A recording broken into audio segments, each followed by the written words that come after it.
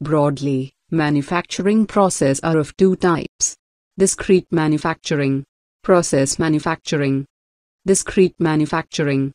Discrete manufacturing process is typically classified as a manufacturing process, where the finished product, parts, components, assemblies or sub-assemblies are counted and itemized and often require assembly.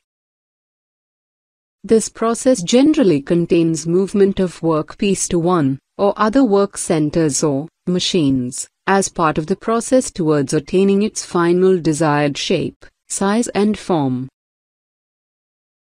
Note In discrete manufacturing environment, different types of work pieces use same machine or equipments for processing with required setup changes. In some cases, because of the sheer size of products, we would find final product being stationary and machines are moved to the product to carry out operations and assemblies, such as in case of shipbuilding, aerospace industries or large turbines and boilers etc.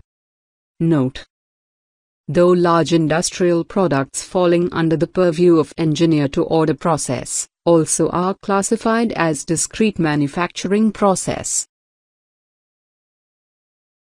Some examples of discrete manufacturing verticals. Industrial manufacturing. High-tech. Automotive. Aerospace and defense. Machinery. Consumer goods. Electronics.